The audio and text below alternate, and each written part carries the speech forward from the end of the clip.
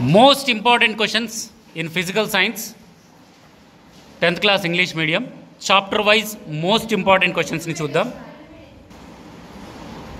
Heat ఉష్ణం అనేటటువంటి చాప్టర్లో degree సెంటీగ్రేడ్ని కెల్విన్స్లోకి convert చేయటం మార్చటం. కెల్విన్స్ని డిగ్రీ సెంటీగ్రేడ్లోకి మార్చడం అనేటటువంటి ప్రశ్న ఒక మార్కు కానీ రెండు మార్కులు కానీ మోస్ట్ ఇంపార్టెంట్ అలాంటి ప్రశ్నల్లో ఒకటి రావడానికి అవకాశం ఉంది. అదేవిధంగా వన్ మార్క్ కింద method of principles of method of mixture. అంటే మిశ్రమాల పద్ధతి సూత్రం ఒక మార్కుకి చాలా important. Principles of method of mixtures. అదేవిధంగా టెంపరేచర్కి హీట్కి మధ్య ఉన్నటువంటి డిఫరెన్సెస్. ఉష్ణోగ్రతకి ఉష్ణానికి మధ్య ఉన్నటువంటి తేడాలు. ఉష్ణానికి ఉష్ణోగ్రతకు యూనిట్లు. ప్రమాణాలు అదేవిధంగా హ్యూమిడిటీ ఆర్ద్రత మెల్టింగ్ ద్రవీభవనము వ్యాప ఎవాపరేషన్ బాష్పీభవనము అదేవిధంగా లేటెంట్ హీట్ ఆఫ్ ఎవాపరేషన్ బాష్పీభవన గుప్తోష్ణము latent heat of fusion of ice ద్రవీభవన గుప్తోష్ణము. వీటి డెఫినేషన్లు అన్నీ కూడా most important for two marks and one mark అదేవిధంగా వాటర్ మెలాన్ వాటర్ మెలాన్ ఫ్రిడ్జ్లో పెట్టినప్పుడు బాగా కూల్గా ఎందుకుంటుంది? సమ్మర్ డేస్లో. పుచ్చకాయ ఎందుకు అన్ని ఫ్రూట్స్లోకెల్లా పుచ్చకాయ బాగా చల్లగా ఎందుకుంటుందంటే నీటికి వాటర్కి ఉన్నటువంటి స్పెసిఫిక్ నీటికి ఉన్నటువంటి విశిష్టోష్ణం. ఈ పుచ్చకాయలో వాటర్ మిలన్లో చాలా వాటర్ ఉండడం వల్ల వాటర్కి హై స్పెసిఫిక్ హీట్ ఎక్కువ విశిష్టోష్ణం ఉండడం వల్ల అది చల్లగా ఉంటుందనే ప్రశ్న. టూ మార్క్స్ కడగడానికి ఎక్కువగా అవకాశం ఉంది. అదేవిధంగా సమ్మర్ డేస్లో డాగ్స్ అనేవి panting of dogs dogs pant during during hot summer days బాగా చల్లని బాగా వేడి అయినటువంటి రోజుల్లో సమ్మర్ డేస్లో కుక్కలు నాలుకను బయటపెట్టి రొప్పుతూ ఉంటాయి. ఎందుకంటే వాటి పైన శరీరం పైన స్వేదరంధ్రాలు ఉండవు కాబట్టి నాలుగు పైన ఉన్నటువంటి లాలాజలాన్ని ఆవిరి చేయడం ద్వారా ఎవాపరేషన్ చేయడం ద్వారా అవి తన శరీరాన్ని చల్లబరుచుకోవడానికి ట్రై చేస్తూ ఉంటుంది. అదేవిధంగా మొన్న ప్రీ ఫైనల్లో కూడా ఇచ్చినటువంటి క్వశ్చన్ మనము స్నానం చేసి బయటకు రాగానే శరీరం వెచ్చగా అనిపిస్తుంది. కండెన్సేషన్ సాంద్రీకరణం అనే ప్రక్రియ దీనికి కారణం. సరౌండింగ్స్లో ఎయిర్లో ఉన్నటువంటి వాటర్ పార్టికల్స్ చల్లబడి ఇది ప్రశ్న. అదేవిధంగా difference between the evaporation and boiling. బాష్పీభవనానికి మరగటానికి మధ్య ఉన్నటువంటి భేదాలు. అదేవిధంగా మీకు ఒక చిన్న లెక్క.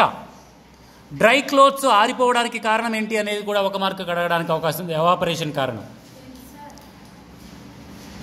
వెట్ క్లోత్స్ అంటే తడి బట్టలు ఆరడానికి కారణం ఏంటి కారణమైన ప్రక్రియ ఏంటి? బాష్పీభవనం. అదేవిధంగా ఇక్కడ ఒక చిన్న నాలుగు లెక్కలు కలిపి ఉంటాయి ఏబిసిడి అని. ఒక గ్రాము వేడి నీరు నీటి ఆవిరి వంద గ్రాముల వంద వంద డిగ్రీ సెంటీగ్రేడ్ దగ్గర వాటర్ లాగా కన్వర్ట్ చేయడానికి ఎంత ఉష్ణోగ్రత కావాలి? అదేవిధంగా వేడి నీటిని సున్నా డిగ్రీల దగ్గర నీరుగా మార్చడానికి ఎంత ఉష్ణోగ్రత అవసరం? సున్నా డిగ్రీలో ఉన్నటువంటి నీటిని సున్నా డిగ్రీల ఐస్గా మార్చడానికి ఎంత ఉష్ణోగ్రత అవసరం?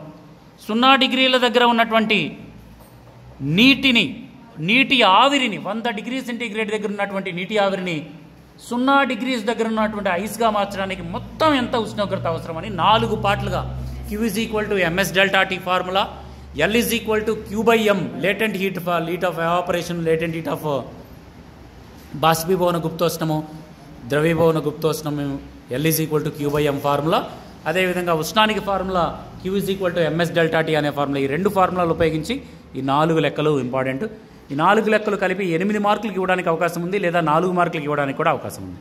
కలిపి నాలుగు లెక్కలు. అదేవిధంగా ఇక మనకు తెలిసినటువంటి పెద్ద క్వశ్చన్ ఏంటది? ఘన పదార్థాల విశిష్టోష్ణం స్పెసిఫిక్ హీట్ ఆఫ్ సాలిడ్స్ ఘన పదార్థాల విశిష్టోష్ణం ఎలా కనుక్కుంటారు కృత్యం ద్వారా వివరించడం ఎనిమిది మార్కుల ప్రశ్న. ఇది హీట్లో ఉండేవి. తర్వాత రెండవ chapter acids bases and salts. ఆమ్లాలు క్షారాలు లవణాలు అనే చాప్టర్లో పిహెచ్ స్కేల్. పిహెచ్ స్కేల్ అంటే ఏంటి? ఈ మిథైల్ ఆరెంజ్ మరియు ఫినాఫ్తలిన్ ఇండికేటర్స్ ఉన్నాయి కదా. ఆ ఇండికేటర్స్ ఆమ్లాలలో యాసిడ్స్లో ఏ విధంగా మారుతాయి రంగు మారుతాయి? బేసెస్లో క్షారాల్లో ఏ విధంగా రంగు మారుతాయి అనేటటువంటి ప్రశ్న. పిహెచ్ విలువ ఎంత ఉంటే ఆమ్లాలు అంటారు ఎంత ఉంటే క్షారాలు అంటారు పిహెచ్ వాల్యూ ఎంత ఉంటే యాసిడ్స్ అంటారు ఎంత ఉంటే బేసెస్ అంటారు? న్యూట్రల్ అనే దానికి న్యూట్రల్. తటస్థీకరణము అనే ప్రక్రియ.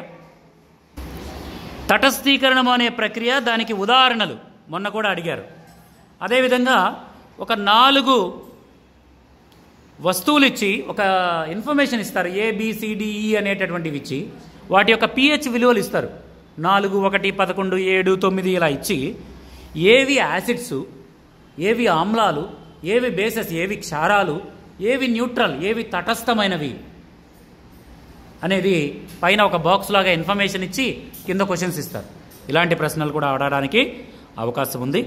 నాలుగు మార్కులకు అడగడానికి అవకాశం ఉంది.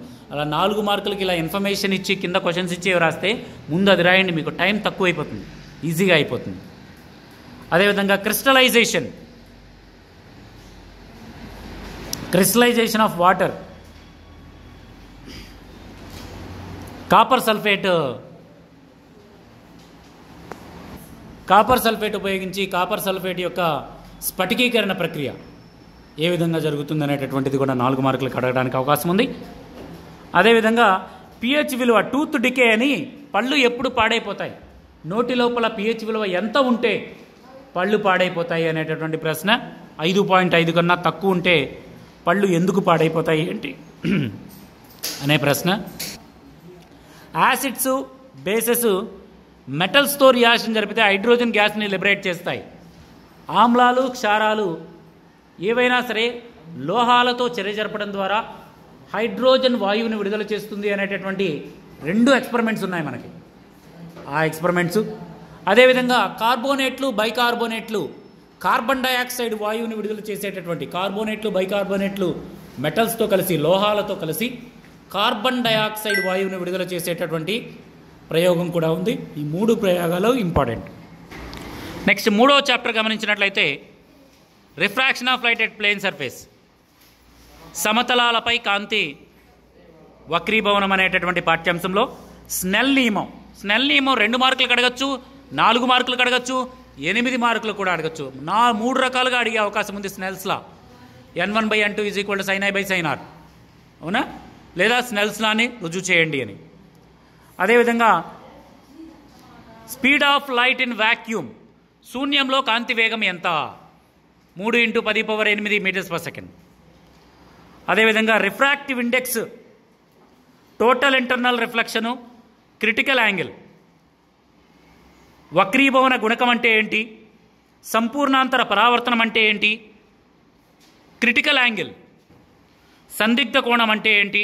ఈ మూడు డెఫినేషన్లు చాలా ఇంపార్టెంట్ ఓకేనా అదేవిధంగా అదే సైనాయ్ బై సైనారే సై స్నెల్స్ లా అదేవిధంగా స్టార్స్ ఎందుకు ట్వింకిల్ అవుతాయి? మెరుస్తూ ఉంటాయి. నక్షత్రాలు మిణుకు మిణుకుమంటడానికి కారణం ఏంటి? స్టార్స్ ఎందుకు అపియర్స్ టు బి ట్వింక్లింగ్ అదేవిధంగా sine I by sine R is equal to constant ఇది ఎక్స్పెరిమెంట్ ద్వారా వెరిఫై చేయడం. అదేవిధంగా ఆప్టికల్ ఫైబర్స్ డైలీ లైఫ్లో మనకి ఏ విధంగా ఉపయోగపడతాయి? అదేవిధంగా సంపూర్ణాంతర పరావర్తనం టోటల్ ఇంటర్నల్ రిఫ్లెక్షన్ అనేది డైలీ లైఫ్లో ఏ విధంగా మనకి uses of total internal reflection as a total internal reflection అనే ఫినామినాని ఒక యాక్టివిటీ ద్వారా సంపూర్ణాంతర పరావర్తనాన్ని ఒక కృత్యం ద్వారా వివరించడం సంపూర్ణాంతర పరావర్తనం యొక్క ఉపయోగాలు ఆప్టికల్ ఫైబర్లలో ఉపయోగిస్తారు. అవునా? ఇలా చాలా చోట్ల సంపూర్ణాంతర పరావర్తనాన్ని ఉపయోగిస్తారు. అదేవిధంగా దీంట్లో ఇమేజెస్ ఏ విధంగా ఫామ్ అవుతాయి? Explain the formation of image ప్రతిబింబాలు ఏ విధంగా ఏర్పడతాయి? ఒక సమతల దర్పణం పైన ప్రతిబింబం ఏ విధంగా ఏర్పడుతుందనే ప్రశ్న. గ్లాస్ స్లాబ్ మీ అందరికీ తెలిసిందే. Glass slab refraction of light through the glass slab ఒక గాజు పట్ గాజు దిమ్మెలో వక్రీభవనం ఏ విధంగా జరుగుతుంది? కాంతి వక్రీభవనం. ఏ విధంగా జరుగుతుంది అనేటటువంటి ప్రశ్న most important for four marks ఇక ఫోర్త్ చాప్టర్ నాలుగో చాప్టర్ గమనించినట్లయితే refraction of light at curved surface వక్రత వక్రతలాలపైన కాంతి వక్రీభవనం అనేటటువంటి పాఠ్యాంశంలో ఒక మూడు మెయిన్ ఇంపార్టెంట్ ప్రశ్నలు ఉన్నాయి. ఒకటి లెన్స్ మేకర్స్ ఫార్ములా కటక తయారీ సూత్రం దాంట్లో ఉన్నటువంటి అంశాలు. అదేవిధంగా దానిపైన లెక్కలు ఉంటాయి కటక తయారీ సూత్రం పైన లెక్కలు ఉంటాయి ఆ లెక్కలు అదేవిధంగా కిరణ చిత్రాలు. ఈ రెండు పాఠ్యాంశాలలో ఉన్నటువంటి కిరణ చిత్రాలు చాలా చాలా important for four marks and eight marks. ఓకేనా? Ray diagrams. ఐదు ఆరు రకాల రే డయాగ్రమ్స్ ఉన్నాయి మనకి. ఆబ్జెక్ట్ అనేది వస్తువు అనేది ఫోకల్ లెంత్ దగ్గర.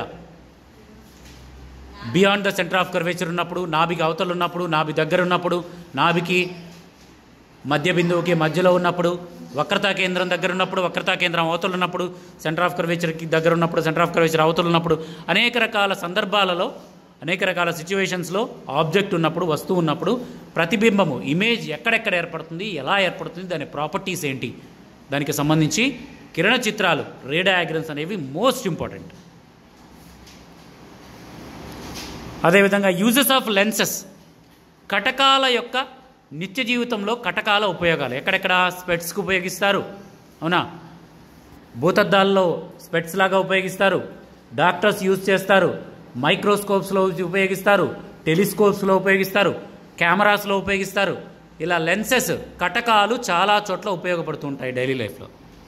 ఇది ప్రశ్న. అదేవిధంగా కాన్వెక్స్ లెన్స్కి కాన్క్వేవ్ లెన్స్కి మధ్య డిఫరెన్స్. కుంభాకార కటకానికి పుటాకార కటకానికి మధ్య భేదాలు. ఇవి దీంట్లో ఉన్నటువంటి ముఖ్యమైన ప్రశ్నలు. అదేవిధంగా ఐదవ పాఠ్యాంశం human eye and colourful world. మానవుని కన్ను రంగుల ప్రపంచం. దీనిలో ఇంపార్టెంట్ అయినటువంటి మెయిన్ పెద్ద క్వశ్చన్స్. ఏంటవి? మయోఫియా హైపర్మెట్రోఫియా. హ్రస్వ దృష్టి దీర్ఘదృష్టి అంటే ఏంటి? వాటిని ఎలా సవరిస్తారు అనేది most important for four marks or eight marks. ఎలా అయినా ఇవ్వచ్చు ఫోర్ మార్క్స్కి ఇవ్వచ్చు ఎయిట్ మార్క్స్కి ఇవ్వచ్చు. ఎయిట్ మార్క్స్కి ఇస్తే కొంచెం ఎలాబరేట్గా రాయాలి. ఫోర్ మార్క్స్కి ఇస్తే ఉన్నది ఉన్నట్టు రాయాలి. డయాగ్రమ్స్ రెండు డయాగ్రమ్స్ మనకి మామూలుగా ఉన్నప్పుడు ఎలా ఉంది? ఆ లోపం వచ్చిన తర్వాత ఎలా ఉంది? లోపాలని సరిచేసిన తర్వాత ఎలా ఉంది? మూడు డయాగ్రమ్స్ వేయాలి. అదేవిధంగా రెయిన్బో నక్ రెయిన్బో ఏ విధంగా? ఫార్మేషన్ ఆఫ్ రెయిన్బో ఇంద్రధనస్సు ఏ విధంగా ఏర్పడుతుంది అనేటటువంటి ప్రశ్న. అదేవిధంగా ఆకాశం నీలిరంగులో ఏ విధంగా ఎందుకు ఉంటుంది? స్కై ఎందుకు బ్లూ కలర్లో ఉంటుంది అనే ప్రశ్న. ఇలాంటి ప్రశ్నలన్నీ కూడా ఈ పాఠ్యాంశంలో ఇంపార్టెంట్ అయినటువంటి ప్రశ్నలు.